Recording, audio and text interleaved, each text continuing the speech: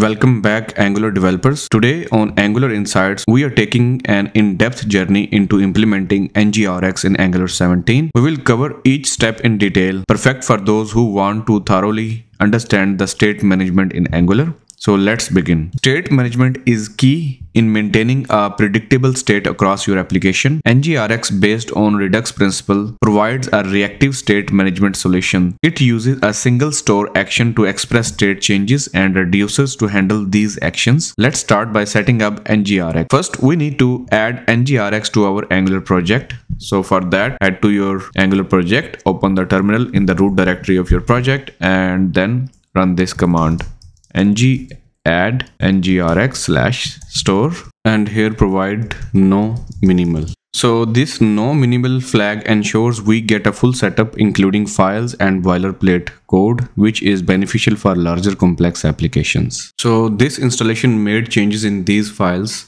So first it added the dependency in the package.json and in the app.config it added the provide store function and it is using the reducers folder to get the reducers and meta reducers. So it also created a folder reducers with the file name index in it. So this is the base file that it, it has created. Now let's define our actions in a new file counter.action.ts. First action would be increment. Make sure to import the create action function from ngrx store. Next we need the decrement create a decrement action and at the end we need the reset action. So actions represent the different types of interactions a user can have with our counter. We have defined three actions increment decrement and reset each with descriptive label. Next we create a reducer to handle the state changes in the counter.reducer. First, let's understand the auto-generated file that we have for the reducers. This file sets up the foundations of our state management. State is an interface representing the application state. The reducers object will map our application's reducers and meta reducers are used for development mode checks.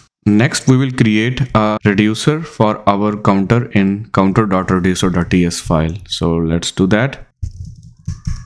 Okay, in this I will export a constant initial state and then I will export constant counter reducer and we will create this reducer by using the create reducer function. Make sure to import the create reducer function from ngrx store and within that function I will pass few parameters. One is initial state that we just created and then we will use the on function. In the on function I will pass increment let me import the on function. Also we need to import the increment that we increment basically is the action that we created in our counter action. So let's add or link our other actions as well. We have the decrement action and at the end we need the reset action here. So this will reset the state to the original.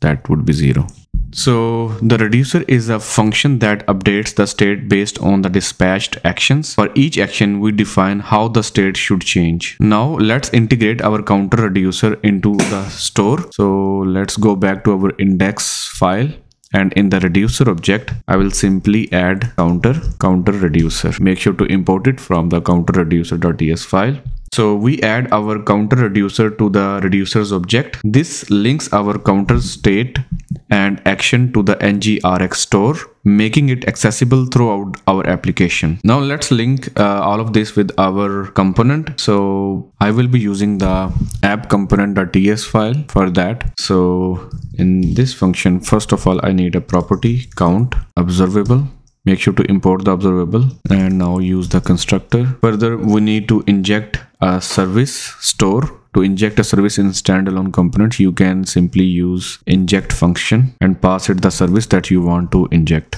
We need to import the store. Next, we will use this dot count is equal to this dot store dot select count. Next, I will define few more functions increment and this will dispatch the increment action. Make sure to import this action from your actions file. And similarly i will define two more functions. This would be decrement and this is going to be reset.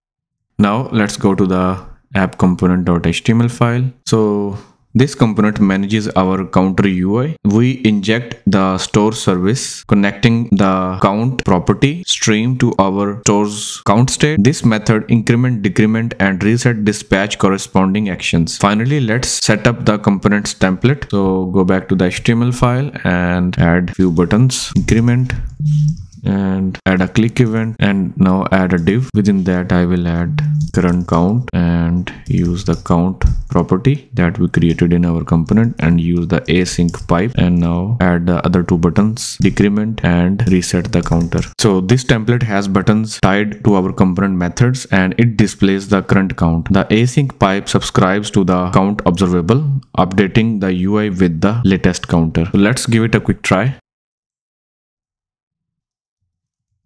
okay i made a mistake earlier. It should be counter now instead of count. Make sure this is matching uh, with the property that you have added in your index.ts file where we are registering our reducers okay. Now increment it you can see that it is being incremented. And if you click on decrement you will see that this would be decremented. And you can click on the reset counter. This would reset the counter back to the zero. All right.